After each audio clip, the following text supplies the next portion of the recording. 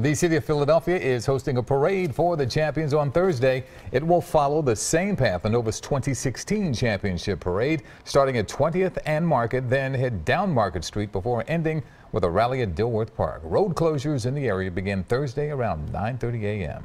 Now, this is the city's second championship parade in three months, and we'll bring it to you live. You can watch the victory celebration on CBS 3 and CBSPhilly.com starting at 11 a.m. this Thursday.